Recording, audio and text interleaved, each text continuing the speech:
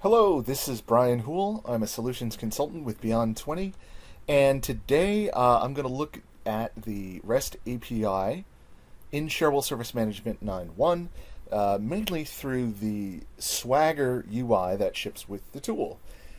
Uh, so in a previous video, I looked up, uh, I looked at setting up a user for the API and a client ID uh, for the API. Uh, so to review real quickly, I'm in the Orange Pill or Administrator tool and um, I'm going into the security category. And if I look at my users, you'll see that I've set up this CSD API user with an API security group, and uh, which I've got separate from all my other user security groups, so that I can apply whatever and exact permissions uh, to the API user that I want, and I don't have to worry about um, uh, other users' access. So by having its own security group, I can give it exactly those permissions that it needs and no more. And uh, the second part of this is I went into the REST API settings and created a new REST API client key. And uh, that is this right here. And I've added an extra long token lifespan of 240 minutes just because, um, you know, I'm assuming I'm in development, um, but usually this is something more modest like 20 minutes uh, for a production environment. So I'm going to copy this key out. The next thing I'm going to do is uh, take a look at the Swagger that ships with this. So um, you don't have to do anything else. When you install your browser client, you'll uh, you'll have this. I'm on a local VM, so you know it just says local host. Um, this you replace with the actual um, URL of your uh, Cherwell install, and then you'll add you'll append this to that um, Cherwell API Swagger UI index. Um, so what I, what I do next is I'm going to take my client key and paste it here. So let me uh, let me take this out. It'll it'll say client ID here, and that's where you're going to paste your key. Now, um, the rest of the page, I have a link to the Cherwell REST API documentation that takes me out. Um, and then I've got all of these nodes here, and these are sort of um, clusters of calls that I can make. So if I drop each of them down, I'll get actual endpoints that I can access. And so I'm going to look under searches, perform search operations. And this gives me um, all the endpoints, and then I get a quick description of what it does. Uh, so I'm going to go down and I'm going to look for run a ser save search by name. And so if I click this down, it gives me some implementation notes. There's all, all, also the response class that I'm likely to get back. And so this is sort of the structure of it and um, the status of a successful call, which is 200. Um, so this allows me, however, to test the calls right here, which is very useful. So um, you know you can try to execute the calls from here before you try to execute them in your application. And if you drop this down, you can change the content type on your response.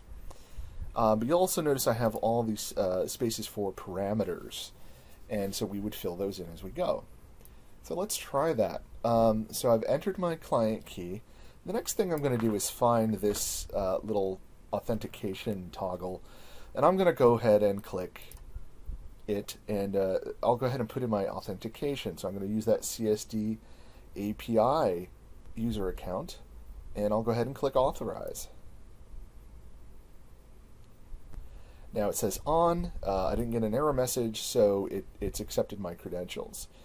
So there's a couple things we're going to do. First, I need an association. Um, and that really is the business object ID uh, of the uh, business object associated with the stored search I'm going to run. So again, here I'm running a, I'm making an API call to run a stored search in Cherwell and return the results. So I need that association. So to do that, I'm going to go into Cherwell, and I'm just going to create a, a new blueprint, and I want to look for an incident. I know this is going to be an incident search, so I'll find the incident business object. And next thing I want to do, I want to go to edit business object and bizob properties. So I'll click that button. When that pops up, I'll go to Advanced, and finally, I'll have my business object ID here. So I'll select this, and this should be fairly, um, I'm going to copy it, it should be fairly long. Um, it's the internal ID or GUID for the incident object, and this should be the same across all Cherwell implementations. Um, that ID is not changing. So I'm going to click Cancel, and I'll leave the blueprint going for a second, and I'm going to go back to my Swagger, and I'm going to put this in. So I'll paste that in. So that's my first part. I'm going to need that ID. The second part is the scope. What scope am I accessing here? So for to, to talk about that, let's go into the blue pill and let's go to our search manager. All right, so here we have our association. We put that ID in for incident. When it's asking for scope, it's really talking about this side here. So is it user scope, role scope, team scope, or global scope? Um, there's also the blueprint scope, but um, we'll we're going to work with the global scope today. So I've got the global scope selected, and really the search that I want to fire is this one, all closed incidents within the past year. Excuse me. So I'm going to copy that so I remember it. But you'll notice it is in the global scope. So when we go to our, uh, back to Swagger, I'm going to type in global. There, my autocomplete has done the work for me.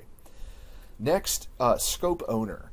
Now, we don't have a scope owner because it's in the global scope, but if this were to uh, be executed perhaps out of a team uh, scope or a user scope, then we would have to provide that. Um, now, under search name, this is where we specify the name of, this, of the saved search. So I've already um, copied that out. I'm going to just paste it in as is. I don't have to do anything fancy with the spaces here. The Swagger tool will take care of that for me. And then the next thing I can do is I can go in and I can provide optionally some search terms, uh, the page number and the page size, and whether or not I want to include the schema. I'm going to leave all these blank for now. Um, so that should do it. Um, oh, except I still need a scope owner of none. Can't leave that blank. So let's look at our parameters again. So I've got the business object ID of the incident object. I've got my global for my scope, none for scope owner, and I've got the name of my search. So now I'm going to go try it out, and hopefully it doesn't error out. Let's see what happens. If I get it right, I got it right. Alright, so now it's executed, and here's what's been returned. So it, it gives me the curl, the curl syntax for the call that I've just made. It gives me the request URL for the call I just made with all the parameter values put in. So as you can see, it gives me all the, the you know parameter and value pairs. And you'll notice that my search name is automatically URL encoded. So that's cool. So now I can kind of take this and stick it into my application as I want. Now, scrolling down, under the response body, um, it, it, it sends me my JSON object back. So I've got business objects, um, then it'll show me my BizOb ID, and that's the ID that I sent for the association. Um, it'll give a public ID, so that's our ticket number, and the rec ID of the business object. This is all useful information to an application developer. Um, and then I'll have an array for each field. So I've got um, my incident type uh, is the field name. Here's the field ID, um, the value and the uh, the internal name of the field. And a lot of times the internal name is just the display name with no spaces. Um, so that we can see that this is an incident owned by team is first level support. I got my incident ID here, the name of the customer. So yeah, so an external application can do all sorts of things with this information. Um, so for instance, if you were doing some sort of custom portal, you know, this is a great way to return all um, all incidents in the system. And if I scroll down even more, I've got my uh, response code 200. It was a successful call, and my response headers. Uh, so I can do a search that way. So again, what we've done is we've used the the REST API to execute a stored search in Cherwell based on the search name. Now, if I wanted to, I can, as long as I keep this name consistent, I can change the clauses in that stored search in Cherwell without upsetting the API uh, call itself. Um, so, in other words, if I just want all closed incidents within the past year, but I also wanted to include service requests, well, in Cherwell, I just need to change that stored value a little bit. If I leave the, the search name the same, then this this call does not have to be modified at all. So that's a great way to pull data from Cherwell. But you'll notice, um, I'm going to go back up to our top level. I can also, um, if I drop down my, my uh, business objects category here and scroll down, I can actually create a new ticket in Cherwell if I am so inclined. So if I scroll down, do, do, do, do, we'll see the save business object endpoint. There it is. Um, and you'll notice that this creates and or updates a business object. So if I want to create a, a ticket, I'm going to use the save business object endpoint for that. And you'll see a lot of the same stuff. I'm already authenticated, so my token should still be good. Um, it'll give me my model, so it's the same as, as what it returns. But uh, it's a little different here. I don't have parameters. Um, I've actually got to send uh, a request object in it. And you'll notice uh, this is a post type. So um, I'm going to keep this all the same, and now I'm going to put in a, the, the JSON object that would represent a request. Now, what we have to do is make sure that we're including all the required fields for incident in order to create the ticket. And if you pop over uh, to our, our ticket, if you look, we can see, and I'm going to sort the details out. If we scroll down, um, you know, I'm sorting by details. That kind of lets me see all my required fields. So, for instance, call source and priority are both required. Um, I probably want to include service category and subcategory, even though they're not required, uh, because uh, I want to, um, you know, have my ticket validated. You'll also notice, um, you know, so I want it uh, classified properly. You know, so I've also got my short description and description are required, and uh, I believe customer ID is also required. Let's double check. So yeah, so you want to make sure that you're sending along all the required information uh, to create your ticket. So there's customer ID. You'll notice that too was required. So let's go ahead and build a response. Uh, sorry, a request object. Okay, so I've got my response uh, already built. So let me just pop it up here. Oops, too big. All right, so um, I've just built out my JSON object with my IDs and all my required fields. So again, we have our BizOb ID and then our fields array.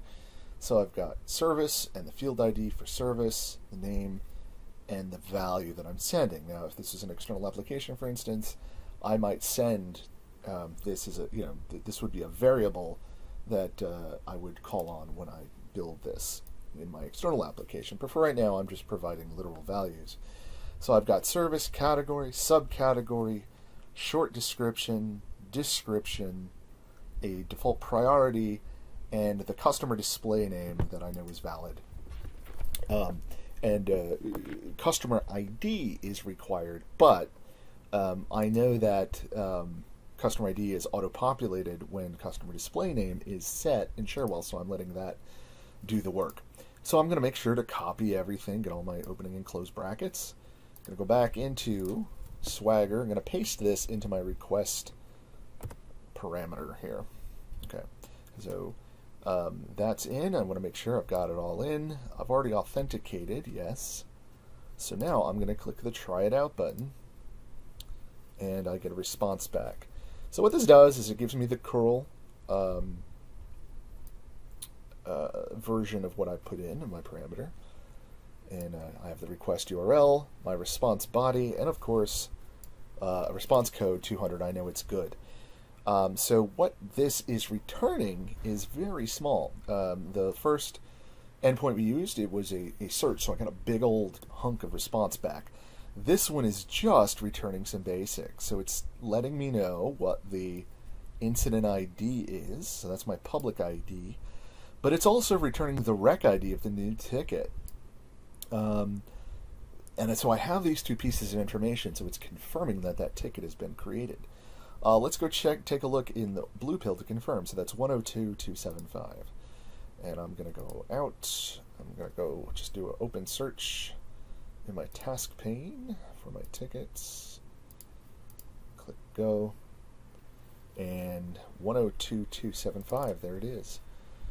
So there's my short description, my priority, my description. It's classified as I need it to be. And because I classified it as I did, you'll notice that the proper specifics form shows up. So this is super useful to me. If I'm in an external application, I can feed uh, Cherwell this request. It can create the ticket. And then with these results returned, for instance, I can now redirect uh, my uh, user, for instance, to the portal view of that newly created ticket if I were so inclined because I just all I need to do is build URL, um, you know, the deep link URL with my public ID, and I've got everything I need. So that was just a short look at a couple of operations we can perform in Swagger with the Cherwell REST API. There are tons more, so feel free to explore. And uh, thanks for watching, and uh, please subscribe to our YouTube channel for more Cherwell videos.